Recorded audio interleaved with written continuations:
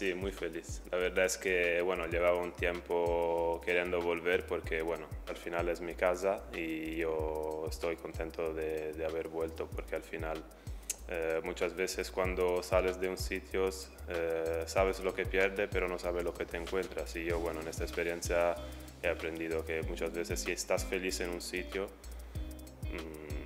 más merece quedarte donde estás. Yo, como sabéis, he tenido eh, una lesión grave y llevo mucho tiempo sin jugar, pero bueno, lo, lo que sí puedo sacar de bueno de mi experiencia del Atalanta es que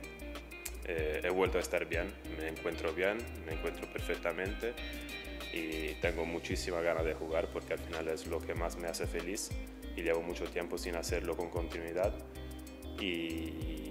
y nada, así que estoy súper contento, súper comprometido y con muchísimas ganas de ayudar. He hablado con, con los capitanes y obviamente creo que ellos también me han ayudado a que yo haya podido volver eh, y bueno, son jugadores y personas maravillosas y creo que,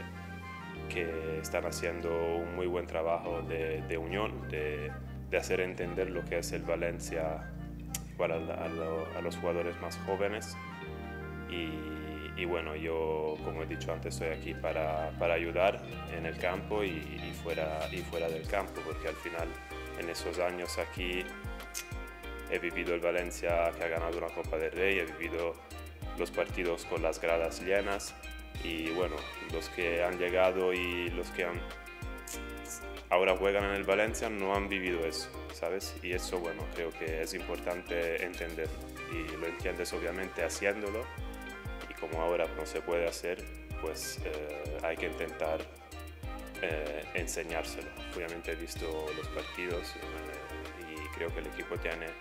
calidad para, para tener mejores resultados.